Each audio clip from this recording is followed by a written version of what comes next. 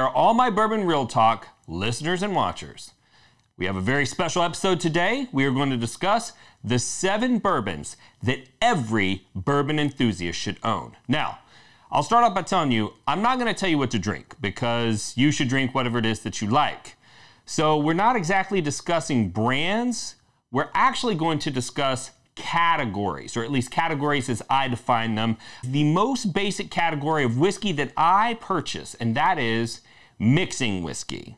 So, you know, you probably, if you went out and you hunted and you acquired some really rare or special bottle, you probably don't want to mix it, right? But there are times where you want to have a cocktail. Maybe you want to make an old fashioned. Maybe you want to mix it with some Coke or whatever your favorite soda is, and that's totally okay, right? Especially in the summer, you're out in the pool, whatever, you don't want to be drinking straight cask strength whiskey, you know, when it's 100 degrees outside. And so I think everybody should have a mixer on hand. Now, the mixer that I always use is Wild Turkey 101. The goal with your mixing whiskey is you want something that's not too hard to replace. So it needs to be something that sits on the shelf that is very easy to go in and get another one whenever you run out. And for me personally, I like something that's at least 100 proof. And the reason why is because if you're mixing it, it's going to be diluted, and I want the spirit to be strong enough to stand up to whatever it is that it's being mixed with so that you can still taste the whiskey in the cocktail because I like the flavor of whiskey, right? So I'm not just trying to get some alcohol in there. I want it to actually be a contributing factor to the overall flavor of the cocktail, whatever it is that I'm mixing. So I need a little bit of strength. But there are a lot of mixing whiskeys out there that are at the 80 proof, 90 proof range. But me personally, I like to look for something that's at least 100 proof. So Wild Turkey 101 fits the bill for that. Any bottled in bond whiskey would also do well. And there's a lot of great bottled in bond whiskeys out there that are affordable at 100 proof. So that would be one that I'd look into as well. Now, my next category is what I call the daily drinker. So, not suggesting that you should drink every day, but if it is a random day, there's nothing special going on, you decide that you want to go out and you want to have a pour of whiskey. You know, you're not necessarily with anybody. You might be doing something else at the same time. Maybe you're working in the garage, maybe you're watching TV, whatever. You're not 100% paying attention to the whiskey, but you just want something to sip on and enjoy. You want something that tastes good, but you don't necessarily want to, you know, waste something that was really hard to acquire, was very expensive. So I go for something like some of these, right? So I'm a big fan of Elijah Craig Small Batch, high quality bourbon produced by Heaven Hill. It's at a 94 proof, and that's, you know, something that I can sip on slowly over time. It's not going to get me inebriated if I'm trying to check some work emails in the evening or whatever. I'm still going to be fully functional and be able to you know, be completely efficient. Um, this is another one that fits into that category for me. So this is Belle Meade.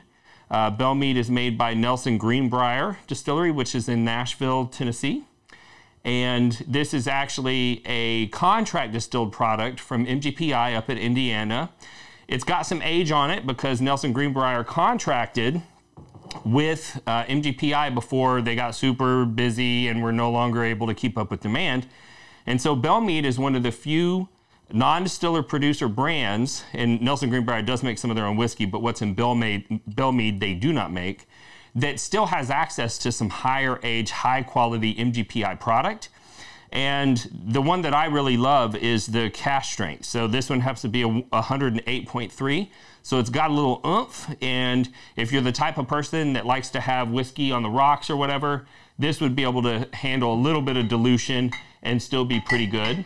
Um, also, really love the uh, Rabbit Hole. Um, Rabbit Hole has a bunch of different releases, but uh, Cavehill is their base level product. If it's distributed in your state, chances are this sits on the shelves. You can get it anytime. Really high quality bourbon, very vanilla and caramel forward, which is a hallmark of bourbon, uh, but it's just a nice, easy drinker. And this one is at a 95 proof. And then another one that I go to frequently is this 1792. I'm a big fan of Barton Distillery 1792. Um, I love their Full Proof products, and this is something that's not super hard to find. It's replaceable, and so this is something that I would gravitate towards if I was looking for something just to drink on a random day. So, our next category would be, you know, it's not just a random day, right? Maybe it's Friday night, you're at the end of your week, you're wanting to wind down. Maybe you had a good day. Maybe you closed a big deal, okay? Maybe you had a bad day. Maybe you had a big deal fall through. And you want something that's just a little bit more special to make you feel better, to commemorate the moment.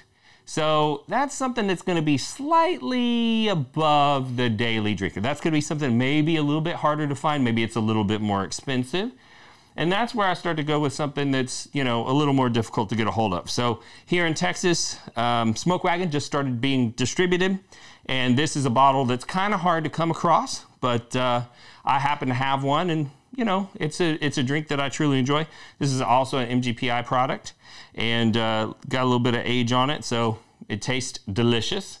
Uh, something else that I would consider maybe it's it's it's too hard to get to be in that daily drinker category would be a Stagg Junior. So de- depending on where you live in the country, Stagg Junior may be easier to find. It may be impossible to find. Some states don't get very much distribution.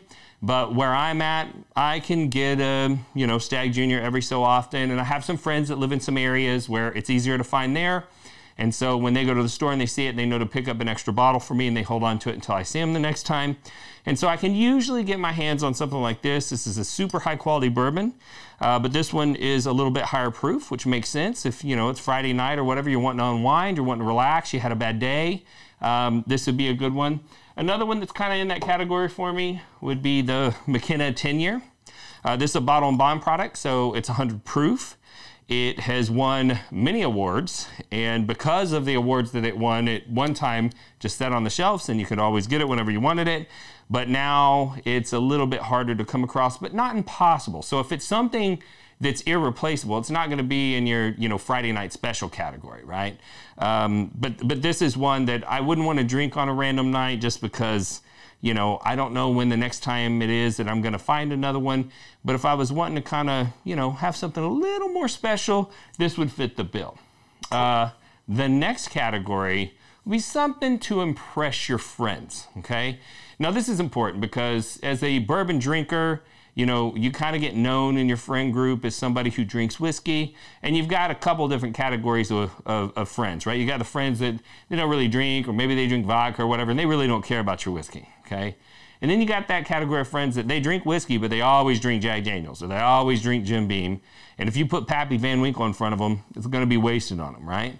And then you got those friends that actually know a little bit about whiskey, and this is who I'm talking about for this category. So this is going to be something that's definitely hard to find, not easy to replace, maybe a little bit more expensive. And so I'm thinking of something more along the lines of like an Elijah Craig 18. Uh, this is a pretty expensive bottle. And, you know, because of that fact, when it comes out, it's not a mad dash to go purchase it, uh, but it doesn't stick around for very long. So this one's kind of hard to replace. So this would be one that I'd get out with my whiskey drinking friends and say like, hey, why don't you have a pour of one of my special bottles? Another bottle that falls into that category is Blanton's Straight from the Barrel. It used to be that you could only get these overseas because it wasn't distributed in the United States, but that's starting to change now. And so this is going to be a bottle that's going to be pretty highly allocated, difficult to find. But when there is a release, there's going to be a good bit of it that hits the market. So if you're out there hunting and you're, you know, being efficient at finding the good bottles, you should be able to get something on this level. Another one that falls into that category for me would be like a Michter 10 year. So Michter's makes an excellent uh, bourbon and rye. I like their rye as well. And their 10 year product is, you know, pretty phenomenal. I've had their 20 year a couple times and it's even better. I do enjoy it more than the Pappy 20. But this is something that, you know, I probably get an opportunity to purchase one of these around once a year through the context that I have. So it's not impossible to get, but this is a good one to get out to impress your friends. So, you know, don't feel too bad about sharing something like that because uh, it's not completely irreplaceable.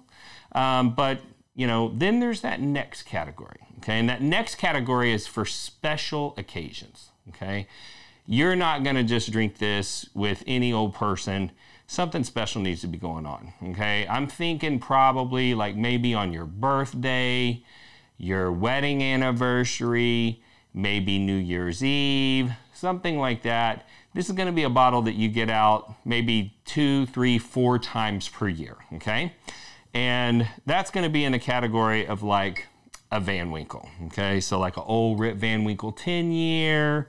You know, this is something that it's got huge secondary value. It's very difficult to find at retail. Um, then, you know, something maybe like a William LaRue Weller, which I've been able to preserve the, the paper on this one so far. It hasn't fallen off yet. Um, but yeah, something like this, you know, I'm not just getting this out every time I have friends over because, you know, it may be years before I find another opportunity to get a bottle at this level. And it's cost so much to buy it on the secondary that I probably wouldn't pay that money, right? And so that's kind of what pushes this into that that second category of this is only for special occasions.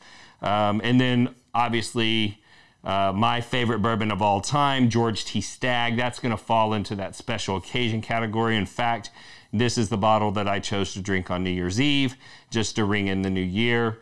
And, you know, it's something that's expensive enough, it's hard enough to come by that you're really going to remember that moment, right? And and you're going to be in the right frame of mind to sit down, pay attention and really enjoy that bourbon, right? So the next category is something that is kind of fun, even if it isn't just for you. And that's what I call a birth year bottle. So I have a bottle of Benchmark. And this product, from what I've been told by some people who know a lot about older whiskey, was probably distilled at Stitzel-Weller before it shut down. And right here on the bottom of the bottle, you can see that it says that it was released in 1978. And I was born in 1978. And so this is my birth year bottle. So it's kind of fun to sit down, you know, maybe on a special occasion or with a special friend, or maybe with a family member, your grandfather, your dad, whoever, and have a birth year pour. And what I like to think about when I'm drinking a special bottle like this is I like to think about the fact that this bottle's been on earth to experience everything that I have, right? So all of those experiences that I've gone through, this bottle was there experiencing it with me, right? And that's kind of special. And the cool thing about birth year bottles is that sometimes they're age stated. And so maybe you can't find a bottle that was bottled in the year of your birth, but you might be able to find a bottle that was distilled in the year of your birth. So if it's, you know, like one of my Beam products, it says on the bottom very clearly what year it was released, say it's an 83, but it also says that it's an eight year bourbon. I know that it was actually distilled in 1975. And I have a handful of Dusty products up here behind me. So when people come over and I want to show them a good time, one of the things that I'll try to do is see if I can give them a birth year pour. And I can either hit it with the year that it was distilled, or I can hit it with the year that it was actually bottled. And then the last category, for me at least, is a special bottle that I will not open that I'm keeping for my child. And I know a lot of people do this. I know some people do it with wine. A lot of people like to use Blanton's because Blanton's does have the year on it that it was released, including um, the, the date that it was dumped and bottled. And some people try to get a Blanton's bottle from the actual date of your child's birth, and they don't, you know, bottle Blanton's seven days a week. So for a lot of birthdays, it's not even possible to find that. But uh, what I did is a few years ago, I found this bottle at retail. Um, truth be told, the salesperson was not supposed to sell it to me. This is a John E. Fitzgerald. It is um, supposed to be the last of the Stitzel-Weller juice.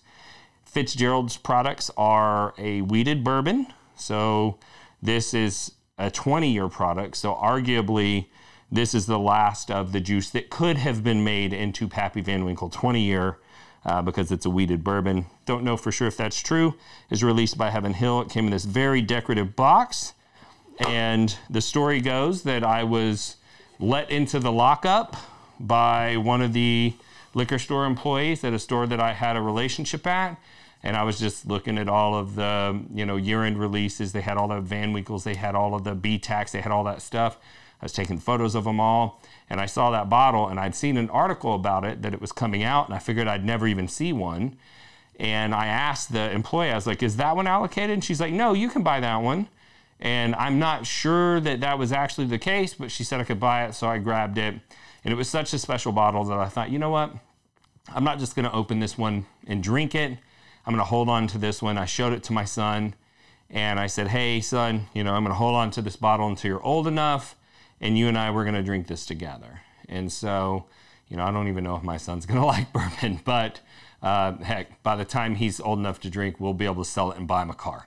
So, anyways, so those are my categories of bourbon. If you are a bourbon aficionado, I feel like you need to have a mixer, you need to have a daily, you need to have something for a Friday night special, you need something to impress your friends, something for special occasions, a birth year bottle, and something to hold on to for your kids. So, if you have any show suggestions, I'd love it if you throw it down in the comments. Um, if you really want to support this channel, the best thing that you could do would be to subscribe, like, review, and comment. That helps the algorithm to show this content to more people. And I always end every episode with the same sign off. And I kind of want to explain it because we have gotten a lot of new watchers and listeners on the channel lately, and it may be confusing as to why I'm saying what I'm saying at the end. And so it's going to get sad for a second, but I promise we're going to turn it around. But um, I was not an only child. I had a younger brother. He joined the military. And unfortunately, he was uh, honorably discharged from the military because of some injuries that he had. Came out addicted to painkillers. And that kind of wreaked havoc on his life. And unfortunately, like so many military personnel that serve this great country, he made the terrible decision to take his own life in 2014. And of course, that came as a shock to me and my family, but it was an eye opener for me because I realized that all around us in this world are people that feel unloved and they feel alone. And I also noticed that bourbon brings people together.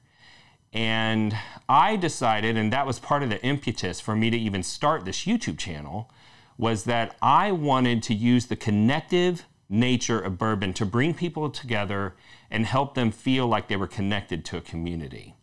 And I also, and you know, this has not been truer in any point in human history as far as I can tell, have seen a lot of division in the United States, uh, especially around politics and things like that. And this this channel will never talk about politics, but what I will say is that I've seen a lot of people showing hate towards one another, um, especially on the internet regarding you know things, uh, differences in opinion, differences in beliefs, and as far as I believe, if someone can hate a stranger that they've never met on the internet, I'm just as capable of loving that person. Okay. And so, because I want people to feel connected and I want to use the connective power of bourbon and I want everyone to understand that they're loved, I sign off every episode the same way, and that is if you woke up this morning and you were unsure whether or not anyone loved you, just know that I love you. And I'll see you next time on Bourbon Real Talk. This content is being brought to you by the Bourbon Real Talk American Whiskey Aroma Kit. This is a tool that I put together to help all you whiskey aficionados out there Develop your palates. You can sit down with the vials and train your senses, or you can sit down with a great dram and break that whiskey down to its components. If you have any interest of purchasing a kit of your own, head on over to bourbonrealtalk.com forward slash shop and pick one up. Thank you for listening.